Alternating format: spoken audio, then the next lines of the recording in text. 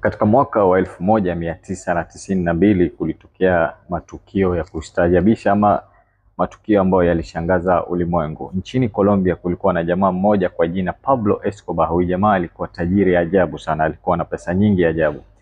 Alikuwa ni tajiri wa madawa ya kulevya na alikuwa ni mtu ambaye anatafutwa sana ulimwenguni. Sasa nini alifanya? Katika mwaka elfu moja mia tisa na tisini na mbili wakati wa baridi, ilikuwa ni msimu wa baridi, alikuwa ndani ya nyumba yake na mtoto wake. Sasa mtoto wake alikuwa anasikia baridi, na unajua katika nyumba za matajiri mara nyingi kuna yale matanuri, unaweka kuni, watu wanapata ule moto ama lile joto.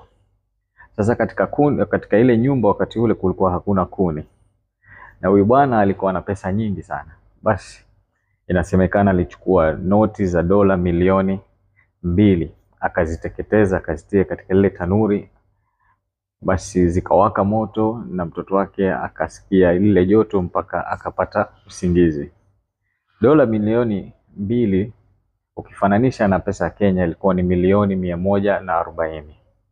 Mpaka kufa kwake ama mpaka kifo cha huyu jamaa kumfikia, inasemekana pesa zake hazikuwahi kuisha kwani pesa zake mara nyingi alikuwa anazificha katika store ama warehouse. Ni jamaa mwingine alikuwa na pesa nyingi sana.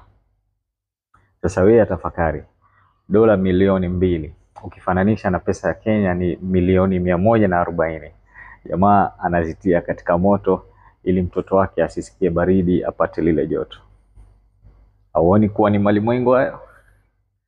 Kuna watu wana pesa, sisi tunazitafuta, wengine wanaziteketeza.